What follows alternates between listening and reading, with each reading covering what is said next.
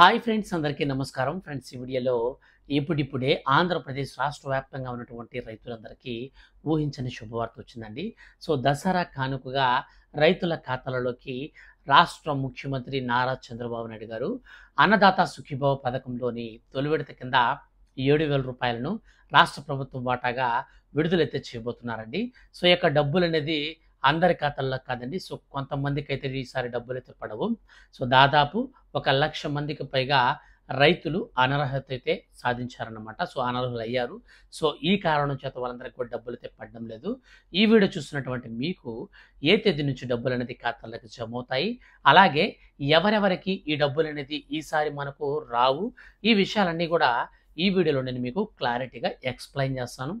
Friends government నుంచి ఏ చిన్న update అయినా సరే ముఖ్యంగా ఆంధ్రప్రదేశ్ రాష్ట్ర వ్యాప్తంగా ఉన్న రైతులకు సంబంధించిన ఏ చిన్న అప్డేట్ వచ్చినా సరే మిస్ కాకుండా తెలుసుకోవాలనుకుంటే మీరు మన ఛానల్ని సబ్స్క్రైబ్ చేసుకోండి. ఈ వీడియోని మాత్రం లైక్ చేసి మీ యొక్క ఫ్రెండ్స్ అండ్ ఫ్యామిలీకి వీడియోని షేర్ చేయండి. అప్పుడే ఏ చిన్న అప్డేట్ అయినా సరే రైతులకు సంబంధించి వచ్చిన వెంటనే మిస్ కాకుండా మీరు ఈజీగా తెలుసుకోవచ్చు. ఇక లేట్ చేయకుండా టాపిక్ని స్టార్ట్ చేద్దాం. ఫ్రెండ్స్ మన యొక్క ఆంధ్రప్రదేశ్ రాష్ట్ర ప్రభుత్వం ఎంతో ప్రతిష్టాత్మకంగా రైతులకు పెట్టుబడి సాయాన్ని అందించడం కోసం తీసుకువచ్చినటువంటి పథకమే అన్నదాత సుఖీభవ. సో గతంలో ఈ యొక్క అన్నదాత సుఖీభవ పథకం బదులుగా రైతు భరోసా పథకం పేరుతో గత ప్రభుత్వం మనకు పదమూడు వేల ఐదు వందల రూపాయలను ఆంధ్రప్రదేశ్ రాష్ట్ర వ్యాప్తంగా ఉన్నటువంటి రైతులందరికీ విడతల వారీగా విడుదల చేసేది.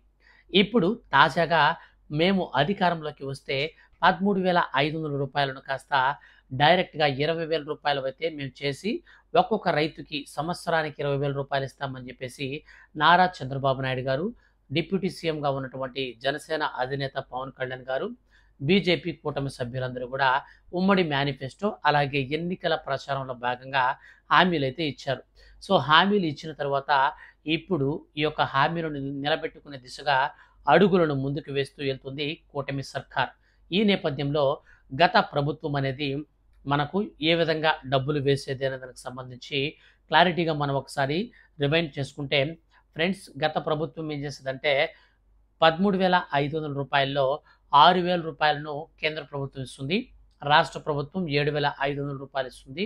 సో ఈ యొక్క ఏడు వేల ఐదు వందల రూపాయలు రాష్ట్ర ప్రభుత్వం వాటా ప్రతి సంవత్సరం కూడా మే నెలలోనే రైతుల ఖాతాలలోకి నేరుగా అయితే డబ్బులు విడుదల చేసేస్తుంది అనమాట సో తొలి విడత కింద మనకు ఐదు వేల ఐదు వందల రూపాయలు అయితే విడుదల చేస్తారు.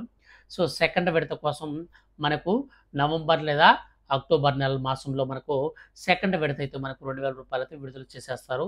సో విడుదల చేసేసిన తర్వాత ఇక ఆంధ్రప్రదేశ్ రాష్ట్ర ప్రభుత్వం వాటా కంప్లీట్గా అక్కడికి మనకు సరిపోతుంది అనమాట ఏడు వేల ఐదు వందల రూపాయలు సెట్ అయిపోతుంది ఆ ఇయర్కి సంబంధించింది. అయితే కేంద్ర ప్రభుత్వం మాత్రం మూడు విడతల్లో ప్రతి నాలుగు నెలలకి ఒకసారి రెండు వేల రూపాయల చొప్పున మూడు విడతలు అయితే విడుదల చేయడం అయితే జరుగుతూ ఉంటుందన్నమాట. ఇప్పుడు కేంద్ర ప్రభుత్వం మాత్రం దీనికి విభిన్నంగా అంటే మనకు కేంద్ర ప్రభుత్వం ప్రతిసారి కూడా ఏం చేస్తుందంటే రాష్ట్ర ప్రభుత్వం కంటే కూడా కేంద్ర ప్రభుత్వం కొంచెం లేట్ అవుతుందన్నమాట. ఎందుకంటే రాష్ట్ర ప్రభుత్వం రెండు విడతల్లో వేసేస్తుంది ఏడు వేల ఎనిమిదిలో. కానీ కేంద్ర ప్రభుత్వం ఆరు వేల రూపాయలని మూడు విడతల్లో వేస్తుంది కాబట్టి కొంచెం మనకు నెక్స్ట్ ఇయర్ సంక్రాంతికి సంక్రాంతి వరకు అయితే మనకు ఉంటుందన్నమాట లాస్ట్ విడత అనేది. అయితే ఇప్పుడు ఈసారి ఈ యొక్క కూటమి సర్కారు అధికారంలోకి వచ్చిన తర్వాత మనకు మొత్తం కూడా డిఫరెంట్గా అయితే మారిపోయిందనమాట సో టోటల్గా చూస్తే మనకు ఫస్ట్ ఆఫ్ ఆల్ ఏపీ రాష్ట్ర ప్రభుత్వం స్టార్ట్ చేస్తుంది. మనకు రైతులకు సంబంధించి పెట్టుబడి సాయాన్ని. తర్వాత మనకు కేంద్ర ప్రభుత్వం అయితే దాని తర్వాత మనకు స్టార్ట్ చేసి డబ్బులు తీస్తుంది అనమాట కానీ ఇక్కడ అలా జరగలేదండి ఈసారి. అన్నదాత సుఖీభావ పథకం విషయానికి వస్తే ఇప్పుడు కేంద్ర ప్రభుత్వం ఆల్రెడీ రెండు విడతల డబ్బులు వేసేసిందనమాట అనమాట రెండు వేల ఇరవై నాలుగో సంవత్సరంలో ప్రధానమంత్రి నరేంద్ర మోడీ గారు ఎన్నికైన తర్వాత మనకు మూడోసారి త్రీ పాయింట్ ఓ మోడీ కింద మనకు రైతులకు సంబంధించి మనకు జూన్ జూలై మాసంలో వారణాసిలో పర్యటించినటువంటి ప్రధానమంత్రి నరేంద్ర మోడీ గారు పిఎం కిసాన్ సమ్మానిధి యోజన పదిహేడు విడత డబ్బులు అయితే విడుదల చేశారండి. సో మనకు ఆ డబ్బులు విడుదల చేసిన తర్వాత రీసెంట్లీ మనకు అక్టోబర్ ఐదో తారీఖున కూడా రాష్ట్ర వ్యాప్తంగా కదండి దేశవ్యాప్తంగా ఉన్నటువంటి తొమ్మిది పాయింట్ నాలుగు మూడు కోట్ల మంది రైతుల ఖాతాల్లోకి ఇరవై వేల కోట్ల రూపాయలనైతే విడుదల చేశారండి. సో బేసిక్గా మనకు ఈ సంఖ్య అనేది ఇంకా కొంచెం ఎక్కువగా ఉండాలి. కానీ మనకు ఈసారి అనర్హులందరినీ కూడా తొలగించడం జరిగింది. సో అనర్హుల్ని పిఎం కిసాన్ సమ్మాన్ నిధి కింద ఎలా గుర్తిస్తారంటే ఎవరైతే ఈకేవైసీ చేసుకోకుండా ఉంటారో సో వాళ్ళందరినీ కూడా అనర్హులుగా గుర్తించి మన యొక్క రాష్ట్ర మరియు కేంద్ర ప్రభుత్వాలు వాళ్ళకి ఈ యొక్క బెనిఫిట్స్ అయితే ఆపివేస్తాయి అనమాట సో ఈ విధంగా మనకు పిఎం కిసాన్ సంబంధించి స్కీమ్కి సంబంధించి పద్దెనిమిది ఎవరితో ఇంకా ఎవరికైనా పడకుండా కానీ ఉంటే మీరేం చేయాలంటే మీరు ఈకేవైసీ చేసుకోండి. మీ దగ్గరలో ఉన్నటువంటి సిఎస్సి సెంటర్కి మీ యొక్క ఆధార్ కార్డుకి లింక్ అయిన ఫోన్ నెంబర్ కూడా తీసుకుని వెళ్ళండి. అక్కడ మీకు ఓటీపీ ద్వారా కానీ లేదా వేలుముద్ర వేసి కానీ మీరు ఈకేవైసీ అయితే చేసుకోవచ్చు. అయితే ఇప్పుడు రాష్ట్ర ప్రభుత్వం కోసం డబ్బులు సాయం కోసం రైతులందరూ ఎదురు చూస్తూ ఉన్నారు. వానాకాలం సీజన్కు సంబంధించినటువంటి ఈ యొక్క అన్నదాత సుఖీభవ తొలి విడత డబ్బులను రాష్ట్ర ప్రభుత్వం ఎట్టకేలకు శుభవార్త అయితే చెప్పిందండి. సో ఎవరైతే ఈ యొక్క రాష్ట్ర వ్యాప్తంగా ఉన్నటువంటి రైతులు ఉన్నారో సో వాళ్ళందరినీ కూడా ఇప్పుడు రీవెరిఫికేషన్ అయితే స్టార్ట్ చేశారు. సో రీవెరిఫికేషన్ అయిన తర్వాత అర్హుల లిస్ట్ అయితే విడుదల చేయాలి. అర్హుల లిస్ట్ విడుదల చేసిన అనంతరం మనకు రెండు లేదా మూడు రోజుల తర్వాత అర్హుల లిస్ట్ వచ్చిన తర్వాత మనకు డైరెక్ట్గా ఈ యొక్క అన్నదాత సుఖీభావ పథకానికి సంబంధించిన తొలి విడత డబ్బులను మన యొక్క రాష్ట్ర ముఖ్యమంత్రి నారా చంద్రబాబు నాయుడు గారు కంప్యూటర్లో బటన్ నొక్కి డైరెక్ట్గా అర్హుల ఖాతాలకు అయితే డబ్బులు విడుదలైతే చేయబోతున్నారండి. అయితే దీనికి సంబంధించి ఎప్పటి నుంచి ఖాతాల్లోకి పడతాయి అనేది మనం తెలుసుకోబోయే ముందుగా ఎవరెవరికి ఈసారి డబ్బులు రావు అనే విషయాన్ని మన యొక్క రాష్ట్ర ప్రభుత్వం అయితే స్పష్టం చేసింది. సో ఆ యొక్క విషయాలైతే మనం క్లారిటీగా చూద్దాం. ఫ్రెండ్స్ మన యొక్క ఆంధ్రప్రదేశ్ రాష్ట్ర వ్యాప్తంగా ఎవరైతే వ్యవసాయం కాకుండా వ్యవసాయేతర పనులకు ఈ యొక్క వ్యవసాయ వ్యవసాయ భూములను వాడతారో అంటే మనకు మీకు ఒక పొలం ఉందనుకోండి ఆ పొలాన్ని వ్యవసాయానికి కాకుండా వేరే పనుల కోసం ఇల్లు కట్టుకోవడానికి లేదా మీకు ఇచ్చినటువంటి పొలంలో మీరు కోళ్ళ ఫారాలు పెట్టుకోవడం లేదంటే మీరు రియల్ ఎస్టేట్ కింద మార్చుకొని ఫ్లాట్స్ కింద మార్చుకొని అక్కడ అపార్ట్మెంట్లు కట్టి లీజ్కి ఇవ్వడాలు. సో కొంతమంది గొర్రెల పెంపకాలు ఇట్లాంటివి చేస్తుంటారనమాట సో ఇలా చేస్తే ఖచ్చితంగా మీకు పెట్టుబడి సాయం రాదండి. సో ఎవరైతే జెన్యున్గా వ్యవసాయం చేస్తారో వారికి మాత్రమే ఈసారి అన్నదాత సుఖీభవ పథకానికి సంబంధించి బెనిఫిట్ అనేది చేకూర్చడం కోసం రాష్ట్ర ప్రభుత్వం అయితే తీవ్రంగా మనకు ఆదేశాలు కూడా జారీ చేసిందనమాట సో దీనికి సంబంధించి రైతులు ఎవరైనా ఉంటే వాళ్ళందరూ కూడా మీ యొక్క పంటను ఈ క్రాప్లో నమోదు చేసుకోవాలని చెప్పేసి రాష్ట్ర ప్రభుత్వం అయితే సూచించింది. ఈ యొక్క ఈ క్రాప్లో నమోదు చేసుకోవడం వల్ల మనకు విత్తనాలు అయితేనేమి అలాగే మనకు సబ్సిడీ రేట్లకి ఎరువులు అలాగే పంట నష్ట పరిహారం డబ్బులు ఇవన్నీ కూడా అయితే వస్తాయి. అయితే మన యొక్క రాష్ట్ర వ్యాప్తంగా ఈ యొక్క ఈ క్రాప్లో నమోదు చేసుకుని ఎవరైతే రైతులు ఇప్పటి వరకు ఇంకా అన్నదాత సుఖీభావ స్కీమ్కి అప్లై చేసుకోకుండా ఉన్నారో అంటే కొత్తగా పాస్బుక్ వచ్చిన వాళ్ళు. సో ఎవరైనా కనుక ఉంటే మీరేం చేయాలంటే మీరు మీ యొక్క విఆర్ఓ గారి దగ్గరికి వెళ్ళి వెబ్ ల్యాండింగ్ అయితే చేసుకోవాల్సి ఉంటుంది. మీ యొక్క పట్టాదారు పాస్బుక్కి ఆధార్ కార్డ్ నెంబర్ లింక్ చేసుకోవాలి. సో లింక్ చేసుకున్న తర్వాత మీరు వెళ్ళి ఈ స్కీమ్కి అప్లై చేసుకోవచ్చు. అలాగే ఆంధ్రప్రదేశ్ రాష్ట్ర ప్రభుత్వం ఏం చెప్తుందంటే ఎవరైతే రైతులు కౌలు రైతులు ఉంటారో వాళ్ళు కూడా ఈ యొక్క అన్నదాత సుఖీభవ స్కీమ్లో పద్నాలుగు వేల రూపాయల వరకు పొందొచ్చండి. సో ఎలాగంటే కేంద్ర ప్రభుత్వం ఆరు వేల రూపాయలు మాత్రం సొంత భూమి కలిగిన వారికి మాత్రమే ఇస్తుంది. సో మనకు ఈ యొక్క పిఎం కిసాన్ సంబంధిత యోజన స్కీమ్లో డైరెక్ట్గా మనకు ఈ యొక్క కౌలు రైతులకు అయితే ఇవ్వరన్నమాట.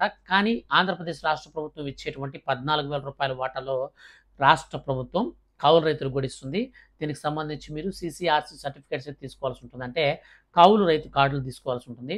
సో కౌలు రైతు కార్డులను మీరు తీసుకొని మీ యొక్క విఆర్ఓ గారి దగ్గరికి వెళ్ళి తీసుకున్న తర్వాత మీరు అక్కడి నుంచి ఈ యొక్క అన్నదాత సుఖీభవ స్కీమ్కి అయితే మీరు ఈజీగా అప్లై చేసుకోవచ్చు. సో అప్లై చేసుకున్నటువంటి వాళ్ళందరికీ కూడా ఎలిజిబిలిటీ క్రైటీరియా అయితే చెక్ చేస్తారండి. మనకు పది ఎకరాల కంటే భూమి ఎక్కువ ఉన్నటువంటి వాళ్ళందరికీ కూడా ఈ యొక్క పథకానికి సంబంధించి అనర్హులుగా గుర్తించి రాష్ట్ర ప్రభుత్వం వాళ్ళ పేర్లను అయితే అర్హుల లిస్టులోంచి తొలగించడం జరిగింది. ఇప్పటికే దాదాపు లక్ష మంది వరకు అయితే అనర్హులయ్యారు. వాళ్ళలో ముఖ్యంగా చూసుకుంటే ఈసారి మనకు ఎక్కువ మంది లక్ష మంది వరకు ఎందుకు అనర్హత సాధిస్తారు? అంటే అనర్హత ఎక్కువ మందికి ఎందుకు వస్తున్నారంటే మెయిన్లీ మనకు ఒక ఒక చిన్న కొత్త రూల్ అయితే ప్రవేశపెట్టారండి. సో అదేంటంటే రేషన్ కార్డు కలిగి ఉండాలి. రేషన్ కార్డులో ఈకేవైసీ అయి ఉండాలి. సో ఈ రూల్తో మనకు అన్నదాత సుఖీభవ స్కీమ్లో కొత్త మార్పులు అయితే చోటు చేసుకున్నాయన్నమాట.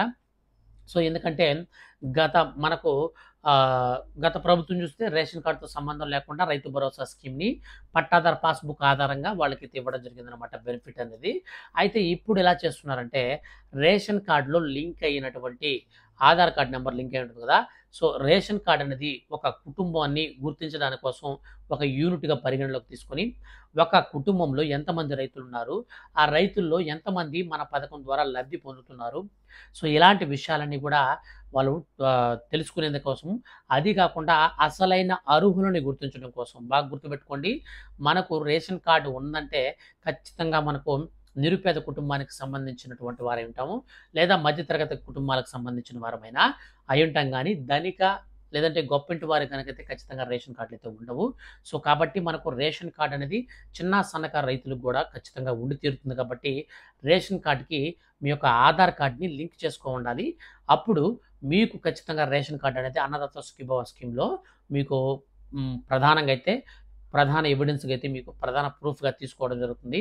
ఎందుకంటే మన పక్క రాష్ట్రంలో తెలంగాణలో కూడా చూసుకున్నట్టయితే రీసెంట్లీ అక్కడ రుణమాఫీ అనేది జరిగిందనమాట సో రుణమాఫీ చేసేటప్పుడు రాష్ట్ర ప్రభుత్వం ఏం చేస్తుందంటే అక్కడ పది ఎకరాల కంటే పైన భూమి ఉన్నా లేకపోయినా సరే పక్కన పెడితే మెయిన్ ఇన్కమ్ ట్యాక్స్ కట్టే వాళ్ళ కట్టే వాళ్ళకు కూడా మేము రుణమాఫీ చేస్తామని స్టార్టింగ్లో చెప్పారు కానీ ఒక కొత్త రూల్ పెట్టారనమాట అక్కడ రేషన్ కార్డుకి లింక్ పెట్టారు. సో రేషన్ కార్డుకి లింక్ పెట్టిన వెంటనే అక్కడ ఏం జరిగిందంటే దాదాపు చాలామందికి రుణమాఫీ డబ్బులు అనేది కాలేదు. ఎందుకంటే రేషన్ కార్డులు లేవు. సో రేషన్ కార్డులు ఉంటేనే స్కీమ్ అయితే అమలు చేస్తామని చెప్పారనమాట సో కాబట్టి అప్పుడు లబ్ధిదారుల సంఖ్య కూడా తగ్గింది. ఇప్పుడు రాష్ట్ర ప్రభుత్వం పైన దాదాపు మనకు పద్నాలుగు వేల రూపాయల భారం అయితే ఉందన్నమాట. సో ఒక్కో రైతుకి పద్నాలుగు వేల రూపాయలు అంటే గత ప్రభుత్వం ఇచ్చేటువంటి ఏడు వేల ఐదు వందలకి డబల్ అమౌంట్ అయిపోయింది. సో రాష్ట్ర ప్రభుత్వం పైన చాలా బర్డెన్ అయితే ఉంటుంది. సో ఈ బర్డెన్ అంతా కూడా భరించాలి. ఈ బర్డెన్ అంతా కూడా తట్టుకొని రైతులకు పెట్టుబడి సాయాన్ని ఇవ్వాలి అంటే కొన్ని రూల్స్ని ఖచ్చితంగా అమలు చేయాల్సి ఉంటుంది. అందులో భాగంగానే ఈ యొక్క రేషన్ కార్డుని తీసుకొచ్చారు. అలాగే మనకు ఈ యొక్క రైతులకు సంబంధించినటువంటి ఏ చిన్న అప్డేట్ అయినా సరే ముఖ్యంగా ఈ కొత్త కొత్త రూల్స్ అనేవి మనకు మారుస్తూ ఉంటారనమాట సో కేంద్ర ప్రభుత్వం కూడా రీసెంట్లీ ఎన్పిసి లింక్ అనేది చేసుకోవాలని మరొక రూల్ కూడా ప్రవేశపెట్టింది. ఆ విధంగా మనకు కొత్త కొత్త రూల్స్ అనేది ప్రవేశపెడుతున్నారు కాబట్టి ఎప్పటికప్పుడు ఏ చిన్న అప్డేట్ వచ్చినా కానీ మిస్ కాకుండా తెలుసుకోవాలనుకుంటే మన ఛానల్ అయితే మీరు సబ్స్క్రైబ్ చేసుకోండి. ఇంతకీ మన యొక్క రాష్ట్ర వ్యాప్తంగా ఉన్నటువంటి రైతులందరికీ కూడా మనకు మరో నాలుగు రోజుల లోపల ఈ యొక్క అర్హుల లిస్ట్ అయితే మనకు విడుదల చేస్తారండి. సో దీనికి సంబంధించి అర్హుల లిస్టులు చెక్ చేసుకునేటువంటి లింక్ని కూడా డిస్క్రిప్షన్లో ఇచ్చాను. దాని ద్వారా మీ యొక్క స్టేటస్ని చెక్ చేసుకోవచ్చు. సో అనంతరం మనకు రాష్ట్ర వ్యాప్తంగా ఉన్నటువంటి రైతులందరికీ కూడా మనకు ఈ యొక్క అర్హుల లిస్ట్ విడుదల చేసిన రెండో రోజు నుంచి డబ్బులు అయితే ఖాతాల్లో పడతాయి.